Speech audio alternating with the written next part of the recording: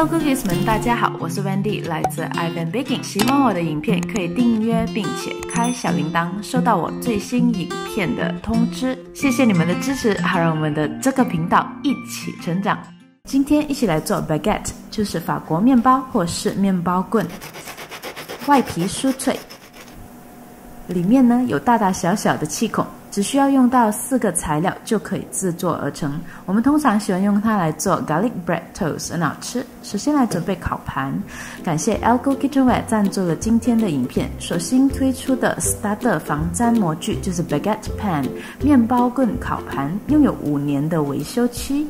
它的烤盘的尺寸三十七乘二十四，Starter 是一个德国品牌，它的烤盘拥有这些洞口，可以帮助受热均匀、耐热直到两百五十摄氏，波浪形保持面包圆棍形，而且它是一个防粘模具，所以非常容易脱模、容易清洗。那么呢？比跟没有模具的话呢，制造方式会比较麻烦和危险，容易烫伤我们的手。如果有模具呢，就更加方便安全，因为需要在很热的烤盘上面来烤。品质很好，所以非常推荐大家来购买哈。现在呢，从 e l g o Kitchenware 购买四个特殊的新产品当中的任何一个，都可以享有十八仙的优惠折扣。优惠链接呢会在 description box 下面。折扣的日期从四月二十三日直到五月十日结束，所以呢，有兴趣订购的朋友呢，就快快订购了，因为非常的值得哈，非常非常的好用。现在来开始做。首先，在一个杯当中加入室温的水，加入速溶酵母，搅拌直到速溶酵母融化。之后，在另外一个大碗当中加入高筋面粉，还有一些盐，用蛋抽把它们混合均匀。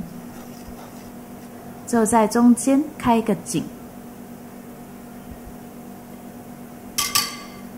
之后呢，把酵母混合物慢慢的加入，一边加入一边用汤匙来搅拌，从中间搅拌出去，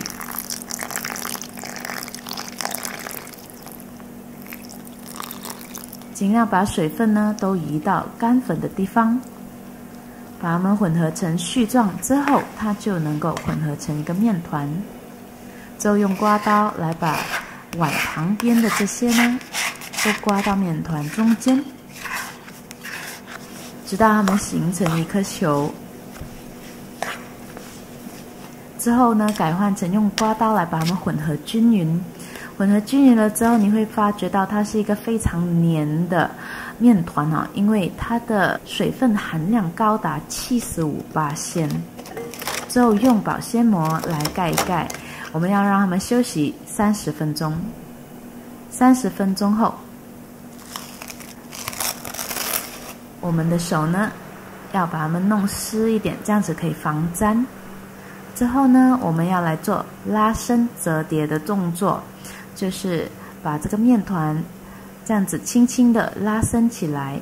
记得注意不要撕断面筋哈，所以拉的时候要轻，把它们尽量拉到最长的长度。之后呢，就做折叠，约十下就可以了。每一个部分都拉伸到，之后在 silicon mat 上面呢撒一点水来防粘。这个食谱呢是用水来防粘的哈。之后把面团倒扣出来，之后我们要来做折叠转动的方式，有一点像甩打的方式，可是我们尽量不要甩打那么处理哈，就只是把它们这样子折叠之后转动九十度，又再继续的折叠。我们要做这个动作，大概二十下左右就可以了。我大概做几下，它就开始看到比较顺滑了，有没有？大概做到二十下左右呢，你就可以开始看到有光面出来了。这个时候就可以停止，把它们放回碗当中，之后再盖上保鲜膜。休息三十分钟。三十分钟后呢，再重复刚才的步骤，把面团先倒扣出来。这个是一个比较连的面团哈，所以用这样子的方式，而不是揉面的方式哈。所以继续拉伸、折叠，大概十下左右就可以了。这时候你会看到面团会更加的顺滑了。之后又开始做这种折叠之后转动的方式，二十下就可以了。你会看到有顺滑的光面，在这个阶段你就要停止了，不可以再做折叠了。因为如果呢折叠转动过多次呢，反而会撕断它的面筋，就会变成这样子，你就要重新做过了。所以呢，这样的方式可以帮助保留气泡在面团以内。这个就是我们要的，因为法棍里面就大大小小的气孔，所以把它们放进普通冰箱，隔夜冷藏来发酵。隔天之后呢，拿起来看它的底部会有这样子的蜂窝状，这个就是我们的面包棍的内部结构了。那么在上面撒上一些的普通面粉来防粘。隔夜发酵之后，接下来就是用粉来防粘，记得要轻盈，不要压面团，因为我们要保留那些气泡。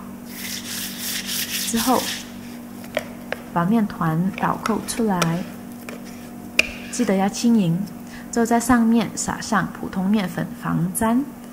之后呢，拿刮刀把它们切成三等份。用秤来量的话呢，大概两百八十克一份。之后呢，把两侧折向中间，然后用这样子一边卷一边捏的方式捏卷三次，这样子就成为一个长条形了，非常小、非常短的长条。好了之后，我们要让它们回温大概三十分钟，所以你们要看自家的温度来判断哈。现在我们可以开始预热烤盘的烤箱了，在最底层放一个烤盘，之后第四层倒扣一个烤盘。预热烤箱两百五十摄氏，上下火不开旋风的。那么准备刚才的 black pan，喷一些油，还有撒上薄薄的面粉，这样子可以帮助保护那个 non-stick 的 coating 哈，就你可以维持防粘很久，很耐用。现在呢，取出一个面团。记得要盖上保鲜膜来防干，把收口朝上，之后呢，用指头来轻搓，这样子也可以帮助保留气泡。用刚才卷捏的方式来卷三次，这样子可以帮助面团加长。看到有气泡吗？小心不要把它们戳破了。好了之后，轻轻的滚它们，稍微拉长面团。好了之后，让它们休息五分钟。当我们做到最后一条之后呢，我们就可以取出第一个面团来继续做了。因为就大概休息五分钟了，现在要重复刚才的步骤，就是这样子卷捏。这次呢，卷捏两次就可以了。这样子你会看到面团就开始变得更长了。之后轻轻的把它们滚，稍微的拉长面团，直到大概三十五厘米长，就跟烤盘差不多一样。就轻轻把它们提起，之后轻轻的放进 baguette pan 里面，之后盖上被单，撒上一些水来保湿。让它们发酵三十分钟左右，好了之后，你会开始看到它们是有开始膨胀了一些些哈。你轻轻压的话，它是会回弹的，这样子就是好了。之后在上面撒上非常薄的面粉，这样子它的颜色会很分明。就准备这个 razor blade，就是啊削剃刀，要用这种刀呢才能。菜刀是很难这样子切的，因为要非常薄、非常利的刀。我们要一个面团划四刀，比较斜的哈，划深一点也没关系。把它们放进预热的烤箱，两百五十摄氏烤二十分钟，上下火不开旋风，在第四层烤。之后倒六十克的室温水到底层的烤盘来制造水蒸气，还有洒水在上面呢，帮助面包它的皮呢可以脆可以硬。烤的过程当中，面包会膨胀起来，滑刀的部分就会啊展开来，非常漂亮。烤好之后，取出烤盘，把它们移到最底层，再烤三分钟，让底部黄金。之后，我们的 baguette 就烤好了。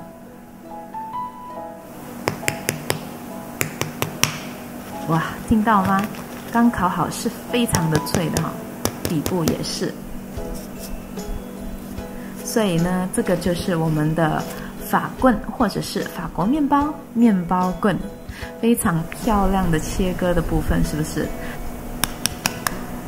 还有那个皮的声音。